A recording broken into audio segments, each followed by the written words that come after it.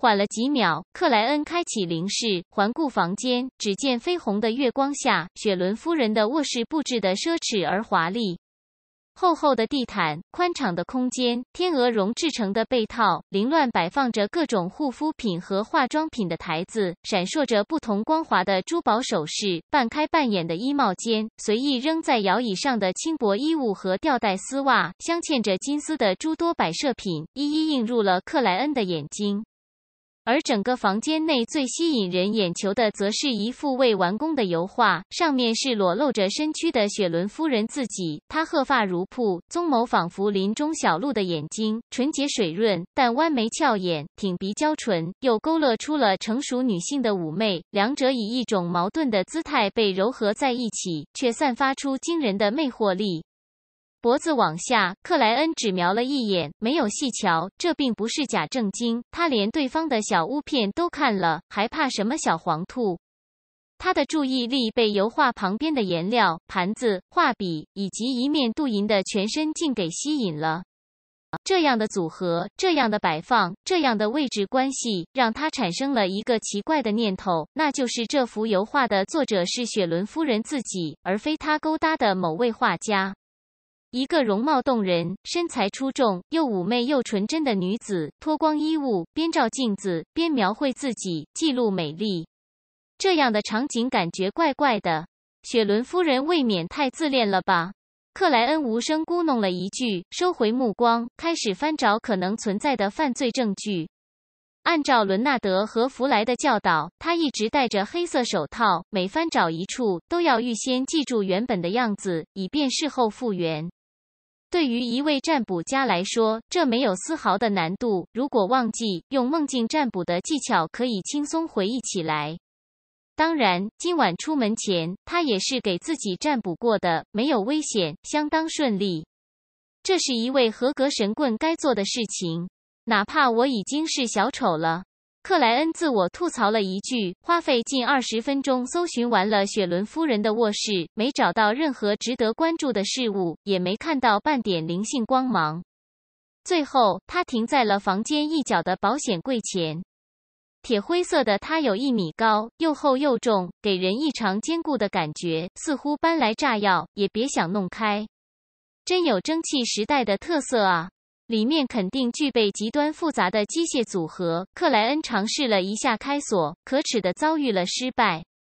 他将保险柜的事情暂时推到最后，摘掉左手手套，并取下了腕部缠绕的黄水晶吊坠，握住银链，任由灵摆下垂。克莱恩并除掉房间内香味带来的燥热，进入冥想的状态。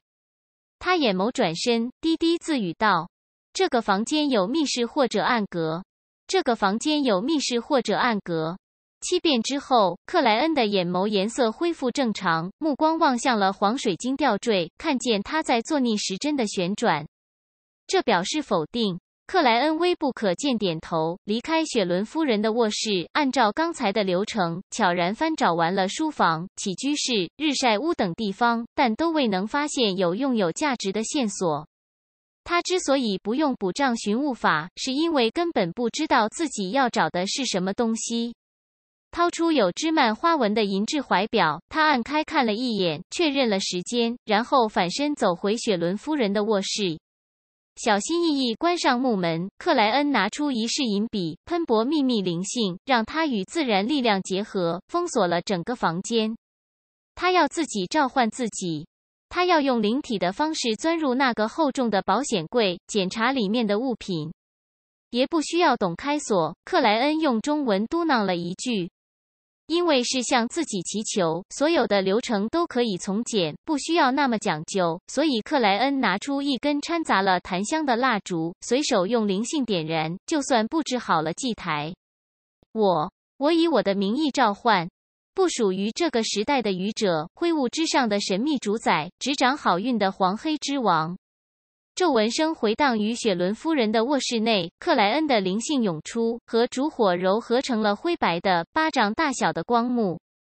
紧接着，他逆走四步，穿透嘶吼，进入了灰雾之上。看了眼古老长桌最上手那张高背椅后面的召唤之门，克莱恩正想回应，忽地怔了一下。反正都进来了，顺便做个占卜，看能否发现什么线索。在这里，除了干扰会被排除，我的能力还是有一定增强的。而且我身体所处的环境，让现在的占卜相当于使用了雪伦夫人随身携带的物品。她坐了下来，在面前具现出羊皮纸和圆副钢笔。占卜什么呢？克莱恩陷入了思考。雪伦夫人有问题？不，谁都犯过错，谁都有一定的问题。雪伦夫人涉及犯罪。双引号，这个也不够严谨。身为交际名花，混迹政治圈子，牵扯上一些肮脏又无法指证的事情很正常。而且犯罪由什么来定义？鲁恩王国的法律，还是因蒂斯共和国的，或者我的自由新政？念头翻滚间，克莱恩不想耽搁时间，毕竟他的肉身还在现实世界。于是他打算就确认一下之前做过的几次相关占卜。拿起钢笔，无需书写，他面前的羊皮纸上就呈现出一条占卜语句：约翰·梅纳德的死亡存在超凡因素的影响。这是克莱恩去梅纳德议员家帮警方通灵时做过的占卜，当时的答案是否定。握着银链，让黄水晶吊坠只差一点就接触到羊皮纸上的单词。克莱恩半闭住眼睛，默念起占卜语句。约翰·梅纳德的死亡存在超凡因素的影响。约翰·梅纳德的死亡存在超凡因素的影响。足足重复了七遍。他睁开双眼，望向灵摆，瞳孔豁然一缩。黄水晶吊坠在做顺时针的转动，而顺时针的转动表示肯定。梅纳德议员的死亡存在超凡因素的影响。克莱恩凝望着缓缓平复的灵摆，心头翻滚起了巨浪。我当时的占卜被人影响了，干扰了。雪伦夫人是非凡者，相当厉害的非凡者，或者他背后有这样的人物帮忙，共同谋划了梅纳德议员的死亡，为的是除掉这位市长宝座的有力竞争者，为的是除掉新党未来的下院议员。一个个想法闪过，克莱恩又写下了新的占卜语句：雪伦夫人是非凡者。依旧是默念七遍，依旧是灵摆法。克莱恩借助自身所处的当前环境和雪伦夫人有关的部分资料，完成了占卜，看到了答案。答案就是黄水晶吊坠在顺时针转动。答案就是肯定，雪伦夫人是非凡者。克莱恩心头一紧，没再耽搁，当即响应了自己的召唤，推开了那扇神秘的大门。混乱与眩晕之后，他看到了雪伦夫人的卧室，也看到了自己。克莱恩半漂浮半飞行的来到笨重保险柜前，探出右手，小心翼翼伸了进去。既然雪伦夫人是非凡者，他就必须提防对方在保险柜里布置有陷阱。而这种掺杂了神秘空间些许力量和自身大部分灵性的灵体状态下，克莱恩无需再占卜，仅是靠近危险就能得到提示。绝大部分占卜的本质都是依靠心灵体遨游灵界来获得启示，简单说就是源于本身灵性。接近透明的手掌穿过厚厚的金属门，克莱恩没察觉到丝毫异常。